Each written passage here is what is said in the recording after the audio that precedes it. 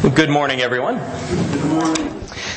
Turn in your Bibles to Colossians chapter 1. Colossians chapter 1. We're going to begin in verse 1 this morning.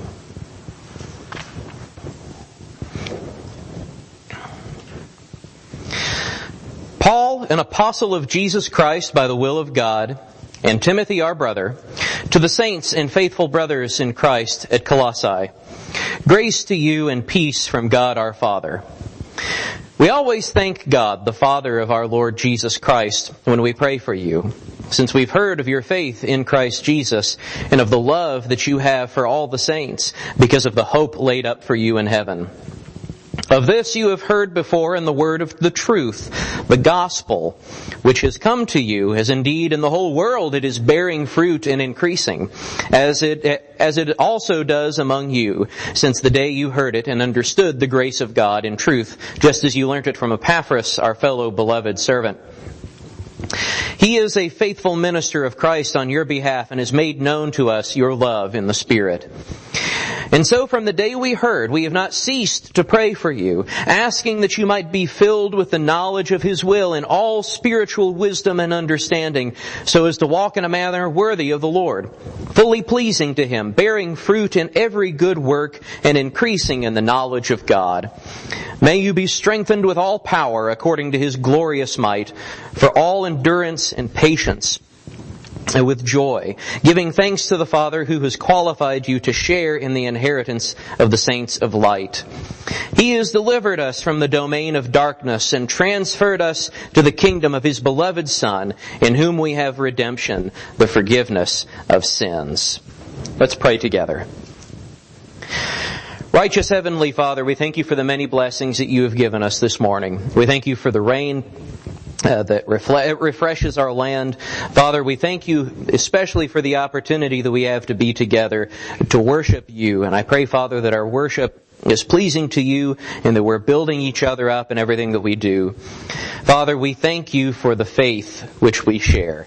Uh, we're thankful, Father, for the faith that we have in the word of truth. And Father, uh, we pray as Paul was praying that we increase in spiritual wisdom and understanding, that we grow in the faith to your glory and in your service. Thank you, Father, for blessing us in Jesus, for delivering the faith through Him, forgiving us of our sins, atoning for our sins with His blood.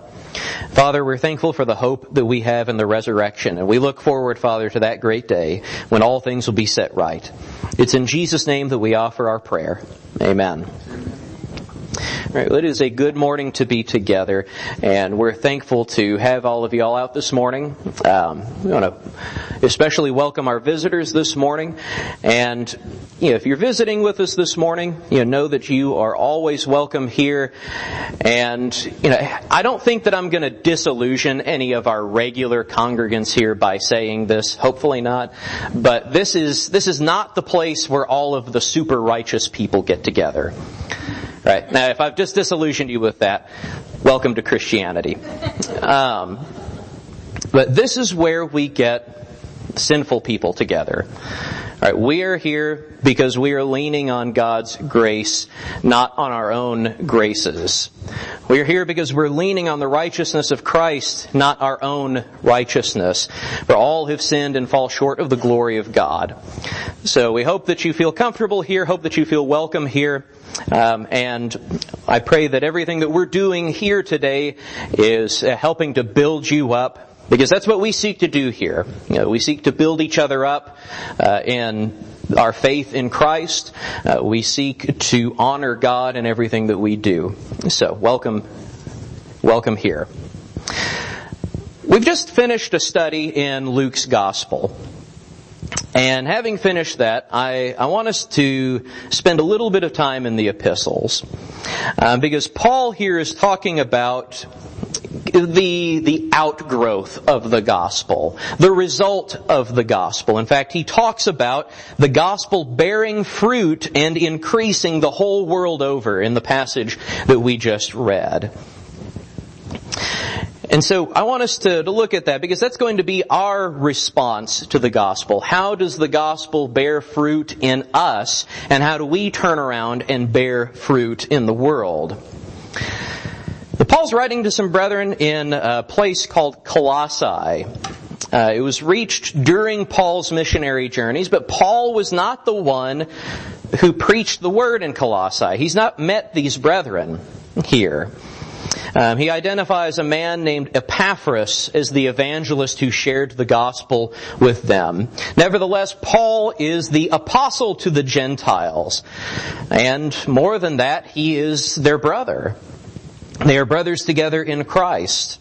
And so he feels obligated to follow up on this work that Epaphras has started, uh, to follow up on the work among the Gentiles here in Colossae. And he begins by telling them about two types of prayer that he offers on their behalf. Prayers of thanksgiving because of them, and prayers of intercession for them in these texts, we learn a couple of things. We learn, first off, what we ought to be praying for ourselves and for each other. And also, as we're looking at these prayers, these prayers orient us in the faith. Uh, they, they, Paul kind of lays out here what the faith is about, uh, just in very general, rough terms, showing us the direction that we should be going in Christ.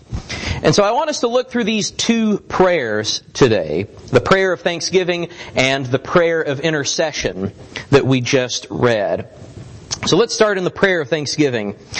Paul says, we always thank God, the Father of our Lord Jesus Christ, when we pray for you, since we have heard of your faith in Christ Jesus and of the love that you have for all the saints because of the hope laid up for you in heaven. Excuse me.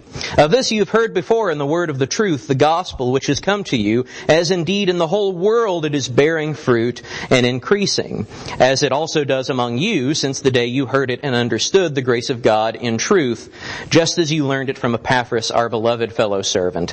He is a faithful minister of Christ on your behalf and has made known to us your love in the Spirit. Paul here is giving thanks for the fruit that the gospel is bearing in Colossae. Just as it's bearing fruit all over the world, he says, so it is bearing fruit among you. Now I want us to talk about what that fruit is. But I also want us to begin by understanding that what we're about to talk about is the fruit of the gospel. This is the response to the gospel. Once you have heard the gospel, this is what ought to be welling up in you. This is what you ought to be producing. The qualities that Paul is giving thanks for here, these are the outgrowth of the gospel.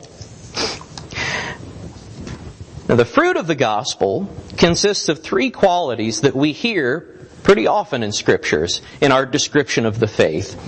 Let's read this first a little bit again and see if you pick up on something familiar. Paul says, we heard of your faith in Christ Jesus and of the love that you have for all the saints because of the hope laid up for you in heaven. Here in this first sentence we hear the familiar formula, faith, hope, and love. Your faith in Christ Jesus, the love that you have for all the saints, because of the hope laid up for you in heaven. Now this is a different order than we're used to hearing them in. We're used to hearing faith, hope, and love out of 1 Corinthians 13, where Paul presents it in that order. You know, now faith, hope, and love abide these three, but the greatest of these is love. And so not only are we hearing them in a different order, we're also hearing them in a slightly different priority here. Because in 1 Corinthians 13, uh, Paul is focusing on love, and love is the supreme virtue that guides the other virtues. Here, excuse me, Paul has phrased the relationship a little differently. Not just faith, love, and then hope, but faith and love because of hope. That's what he said. Your faith in Christ Jesus, the love that you have for all of the saints, because of the hope laid up for you in heaven. That in some way, Our hope is governing our faith and our love. Our hope informs and educates us on how to, uh, to go about the faith and go about loving each other. Now, I want us to talk about this formula a little bit this morning. Uh, we need to say a few words about faith in Christ before we continue with anything else. Uh, because I'm afraid that we have a, an impoverished understanding of the phrase faith in Christ. Mainly because we have uh, an, uh, a deficient understanding of the word faith. We completely miss Paul's explanations unless we understand what he's getting at a little bit beforehand. Because the rest of the letter, all throughout this letter, Paul is going to be focusing on faith, love, and hope as three of his major themes. He's going to expand on all of this throughout the letter to the Colossians. And so we need to understand what faith in Christ Jesus means, what love for all the saints means, and what the hope laid up for you in heaven means. And we commonly take faith in Christ to mean just belief in Jesus. Uh, if you have faith in Christ, you believe that He exists. You believe that Jesus is real. You believe that He is the Son of God. And indeed, that is part of what Scripture means by faith. Part of what Scripture means by faith is belief. But that is not all that Scripture means by faith, which is what makes it an impoverished understanding of faith. I don't want to make the whole sermon about this, um, so let us briefly look at what Scripture has to say about faith. Go back to Deuteronomy chapter 7. So here I think uh, Moses lays it out pretty succinctly. Deuteronomy chapter 7 and verse 6. And he's going to talk about faith both from God's perspective and from our perspective. That is the faith that God's people have and the faith that God has. And by the way, that's, that's a symptom of our impoverished understanding of the word faith is that we don't often think about God having faith. But the scripture says that He does. Or rather that He is in faith. Deuteronomy chapter 7 verse 6 for you are a people holy to the Lord your God. The Lord your God has chosen you to be a people for his treasured possession out of all the peoples who are on the face of the earth. It was not because you were more in number than any other people that the Lord set his love on you and chose you. For you are the fewest of all peoples.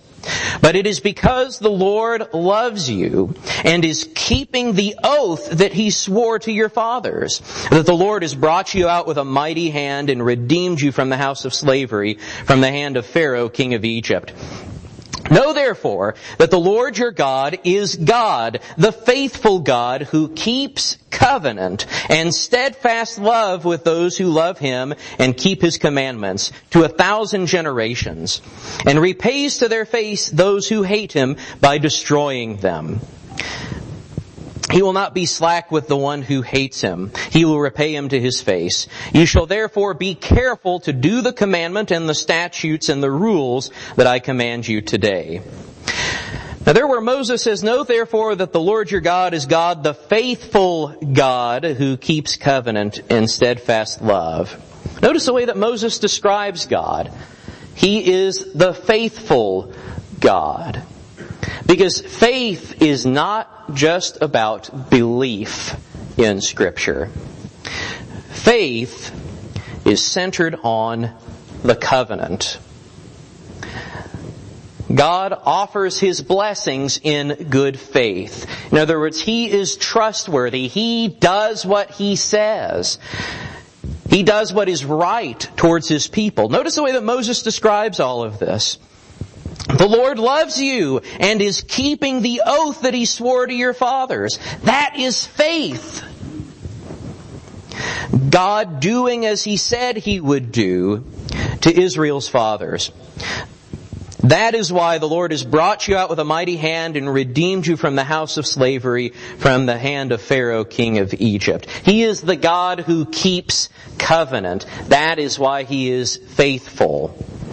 And what he asks in return is that likewise we be faithful. He asks for our covenant obedience in good faith, just as he offers his covenant blessings in good faith. That is, faith is a two-way street. Faith affirms that God is trustworthy. We don't just believe that He exists, but as a Hebrew writer says that He is also a rewarder of those who diligently seek Him. That is, we trust Him. Faith moves us then to be trustworthy in our response to God's trustworthiness. That faith in Christ does not just mean belief in Christ, but it's talking about faithfulness. It's talking about trustworthiness. It is talking about keeping covenant in Christ. When Paul writes about faith in Christ, he is talking about living a faithful life in Christ. And we're going to see that reflected all throughout the letter to the Colossians. Otherwise, faith in Christ would just be kind of a throwaway phrase here at the beginning of the letter. But it means placing our trust in Christ as opposed to placing our trust in other things. And as we're going to read, the, the brethren in Colossae had started putting their trust in some other things rather than putting their trust in Jesus. And it also means living in obedience to Christ, which again the Colossian brethren, as we'll see, had started falling away from. And Paul is calling them back to faith in Christ that they put their trust in Him and that they obey Him. And so that is what Paul means whenever he says faith in Christ. So Paul gives thanks for the faith, the love, and the hope that these Colossian brethren already have because of the gospel. And notice that's where it comes from. That is how you get faith. That is how you live in love. That is how you have hope is through the gospel, the good news of Jesus of Nazareth. And so Paul, having given thanks for what they already have, then prays for them to grow in what they have. They pray for that fruit to grow and fulfill its purpose. I go back to Colossians 1 verse 9.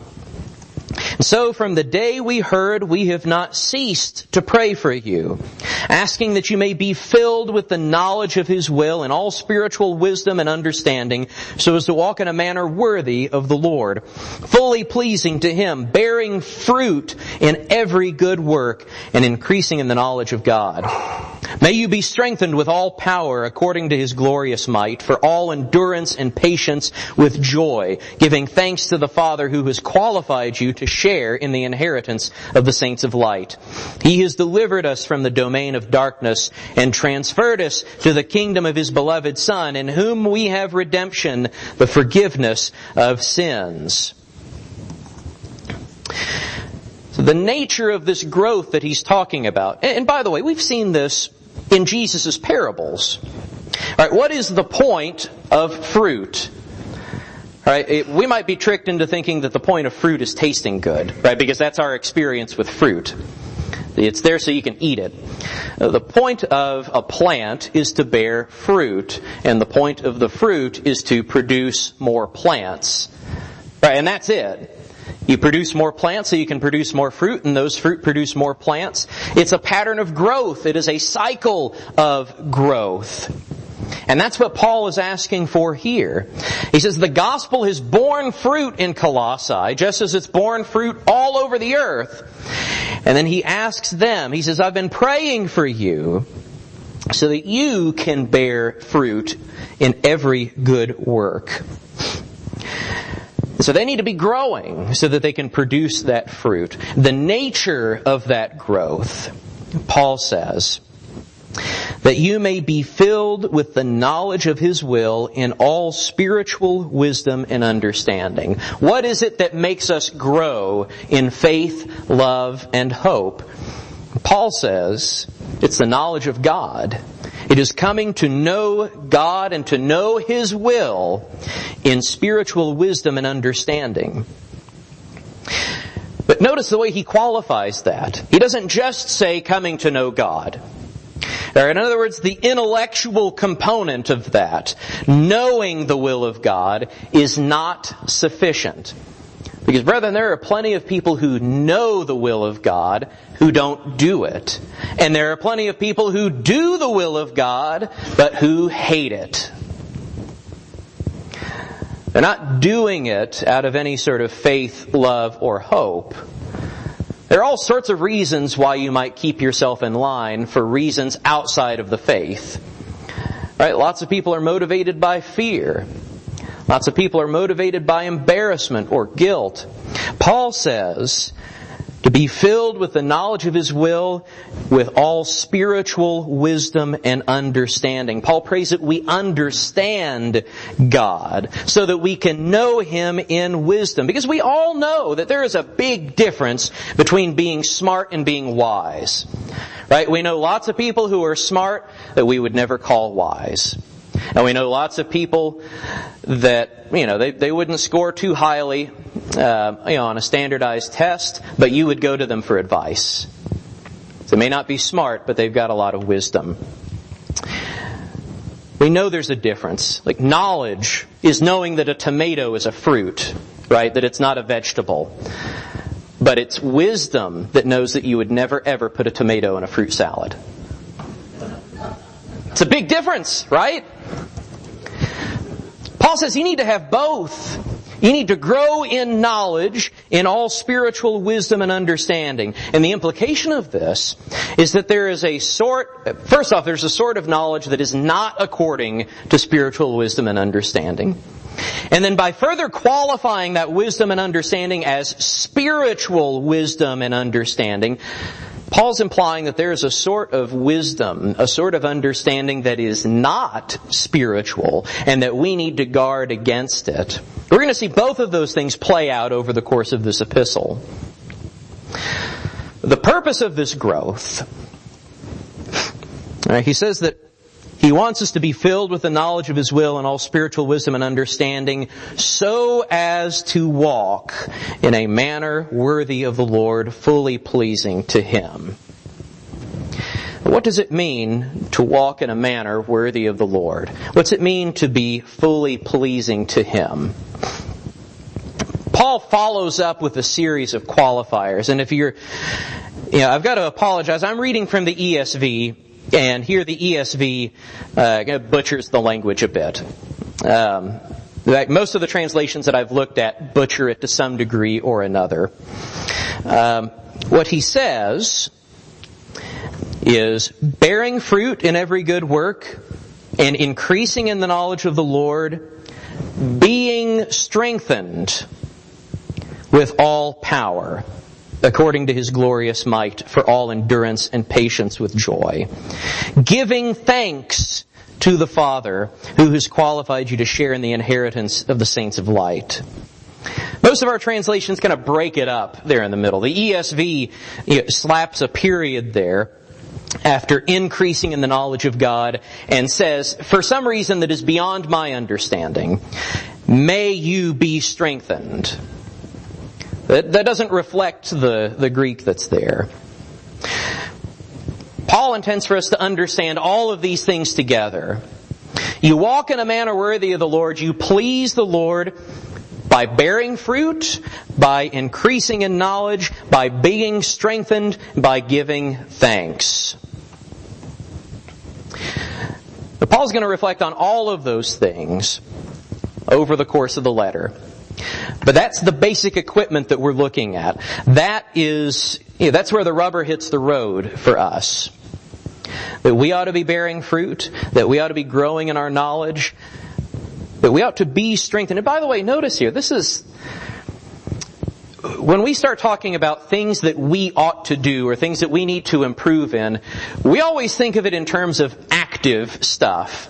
You know, like, if there, if there is a verb that needs to be done, we're the subject of that verb. We're the ones getting it done. Alright, we're the ones bearing fruit. We're the ones increasing in knowledge. But notice here, Paul slips in something here in the passive voice. Being strengthened. Part of the equipment here, part of this growth process does not originate in us. Because who's doing the strengthening? But the Lord Himself. Look at this being strengthened with all power according to His glorious might for all endurance and patience with joy. That it's His strength that we're leaning on. He's the one who's giving us the ability to endure. He's the one who's giving us this joy that comes from His strength. And that's why Paul is praying for them. Because that's, that's our access to this. Is prayer. It's not something that originates in us, but originates in God. So the call for us this morning is that we have an everlasting hope in front of us. Remember, that's, that's the way Paul qualifies all of this. We have faith in Christ Jesus, love for all of the saints because of the hope laid up in heaven. Alright, now we've only dealt with things in, in very broad, uh, loose terms this morning, just as Paul has done here. He's not developed any of these ideas yet. We only have a, an outline of what all of these things mean. But I do want to call you to this everlasting hope that we have in front of us. We know that all of us face the end of our days, eventually. Right? Given long enough, everybody's chances of survival hit zero. Right? That's just the sad fact of life. And at the end of all of that, one day we face judgment. Now, what Paul's talking about here is a hopeful thing. I mean, that's why he uses the word hope, right? But at the end of all of this, we've got something laid up for us in heaven. To achieve that hope, we must live in love and in faith. Right now the world, the world apes all of these qualities. Right, the world puts on a show like it has love. Right, and it's, it, it annoys, it annoys me to death. You go out and you see all of these cliches out in the world. Stuff like love wins. Um, Uh, uh, the world thinks it's got an idea of what love means. But remember, Paul said that you need to be growing according to spiritual wisdom and understanding. What the world has on offer is not according to spiritual wisdom and understanding. What the world has on offer is something that looks flashy, something that looks nice, something that promises blessings. But they're empty promises. At the end of your life, you're dead. It's our goal then to walk in a manner worthy of the Lord, to walk after His calling. And Paul says that all comes from the gospel. That's how all of this starts. The gospel gets preached in Colossae, they respond to it, the seeds are planted in them, and they are growing, and they're on their way to bearing fruit themselves. As we study, as we come to know the will of God, as we respond to the gospel, we grow. And while we're growing, we pray. We give thanks to God for what we have. And we pray for God to give us more. We're eager for what fruit we will bear. But it all starts with responding to the gospel. Please take out your songbooks. Jesus of Nazareth is the Son of God. He lived among men a perfect life and offered himself as an atoning sacrifice for sin. That we can call on him, join in his covenant, and if we live in faith and in love, we have that hope laid out before us. But it begins with answering the gospel. It begins with joining that covenant. Remember what Moses said, that God is the faithful God who keeps covenant. And Jesus, He lays out the pattern. Right? You hear the word, you hear the gospel, you repent of your sins, and as you turn away from it, you reject it. You say, that's the way I've been going, now I'm going to be faithful. You confess that Jesus is the Son of God and the only atoning sacrifice. And you be baptized into his death, burial, and resurrection. And that's the covenant. And then you live in faith, in love, and in hope. If you've not done that this morning, if you are outside of that covenant, if you have not responded to the gospel, the only time that you are guaranteed is right now. Nobody knows when their time is going to come. We do not know when the Lord is going to return again. And so we implore you, respond to the gospel today. It may be that you have responded to the gospel, but like these brothers in Colossae, you have begun slipping away, placing your trust in other things, that you are in need of repentance, and it may be that, that something has happened and you're in need of restoration. Whether you need prayers, restoration, baptism, whatever your need may be, we stand ready to take care of those things. If you'll make your need known by coming forward, as together we stand and sing. Would you be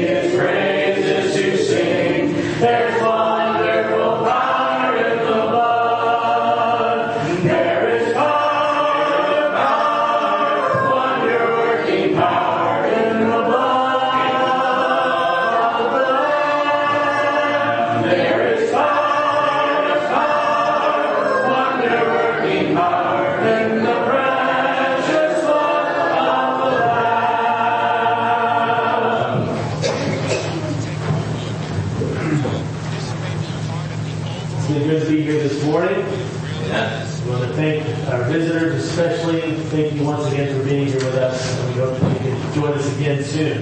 We'll be back again tonight at 6 p.m. And again, uh, tonight is our Q&A uh, session where Caleb answers our questions.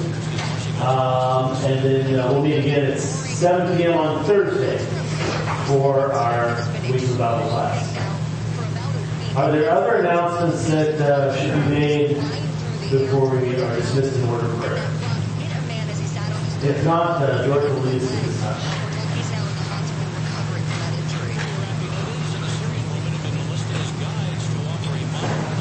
Pray please. Our gracious Heavenly Father, we thank you for this day that you've given us.